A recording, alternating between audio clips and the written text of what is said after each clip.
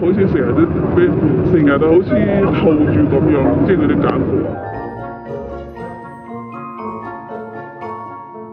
成日好似好似好似借貴你嗰種感覺，好似不斷咁收，你冇錢去嘅收收收完誒慢慢還咯。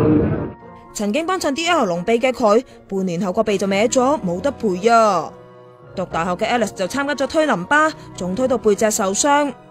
佢哋都花咗幾千甚至幾萬去參加啲療程，唔止信病唔再幫襯，仲覺得完咗療程係種解脫。試過用唔使錢做代言嚟說人買 treatment，仲會用二对一洗腦 sell 你，抵唔住就只好就範俾幾萬銀啦。仲有員工爆料，D.R. 創辦人兼主席曾經被醫委會裁定專業失當。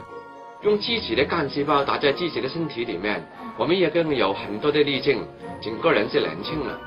港大醫學院畢業嘅周向榮會喺自己個 blog 度推介啲 product，不過零二年仲掛跟診，就不停推介佢老婆嘅 M P 十七 product，有違醫德，被醫委會譴責啊！曾經話家庭醫生工作公式化，不過就只係以錢掛帥，房地產賺到錢就去做地產代理。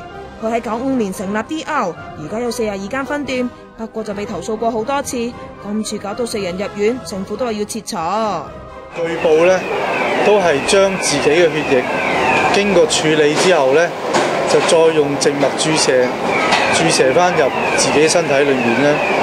咁我認為咧，呢個係一個醫療嘅程序嚟嘅。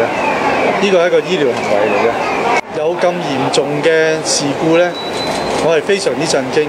唉，提醒大家要去做 facial 或者參加任何 treatment 都要 check 清楚，小心啲啊！